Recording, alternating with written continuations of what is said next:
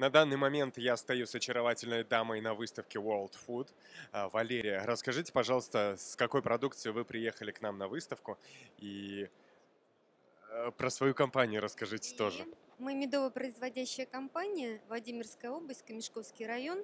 У нас цех по э, фильтрации и э, розливу меда. У нас только натуральный продукт, основные меда цветочные, гречишные, липовый, дониковый и различная упаковка от э, полипропилена до стекла, от 120 грамм до килограмма.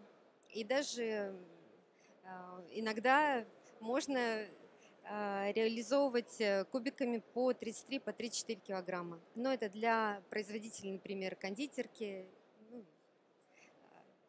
Какие цели перед собой ставите на данной выставке?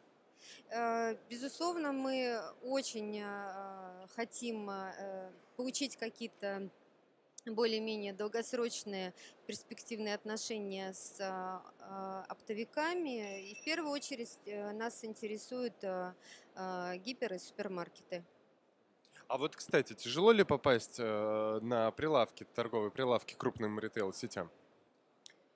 Но для нас пока мы довольно-таки молодая компания, как э, принято говорить, динамично развивающаяся, но тем не менее э, э, это не, это не так просто. Вот в современных условиях, э, э, тем более, что все равно так или иначе у нас э, есть конкуренты, а, поэтому, да, есть, есть очень большие проблемы с этим.